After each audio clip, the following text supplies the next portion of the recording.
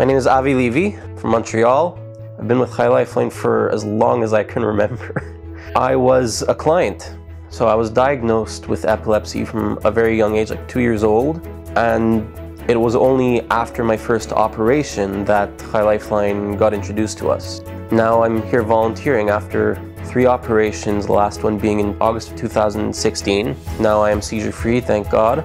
But I figured fair is fair, it's time to give back.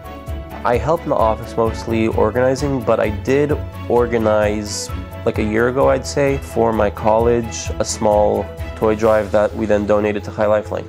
It's a kind of giving back. They've helped me out for so long. They came into that hospital room. They basically changed my life. They made it so much easier, so much better.